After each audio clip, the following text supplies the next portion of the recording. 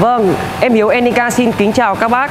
Gần đây thì Enica liên tục về những mẫu xe để phục vụ cho các bác.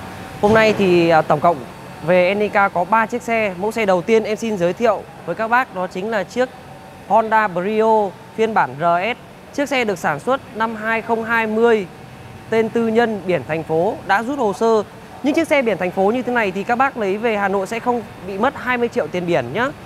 Chiếc xe này rất là đặc biệt ạ. Đặc biệt vì sao em Hiếu nói là đặc biệt? Xin mời các bác.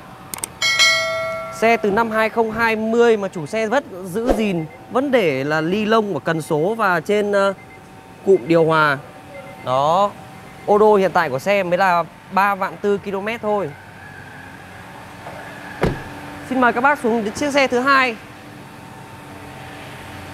Chiếc xe này là Honda City Được sản xuất là năm 2019 phiên bản CVT Và Enica hiện tại đang chào bán với mức giá khoảng 440 triệu đồng. Đó cũng là tên tư nhân biển thành phố đã rút hồ sơ ạ. Xe còn khá là mới. Em Hiếu Đang nhìn uh, hiện tại ô đô của chiếc xe đang là 3 vạn 2 km đã được Enica kiểm tra kiểm định rất là kỹ càng. Và chiếc xe cuối cùng em Hiếu xin gửi tới các bác đó chính là chiếc Sang Dông Tivoli. Chiếc xe được sản xuất năm 2016 Tên tư nhân biển thành phố Đã rút hồ sơ. Chiếc xe này là xe nhập khẩu các bác nhé. Đó, bên Enica chỉ chào bán với mức giá khoảng 370 triệu đồng.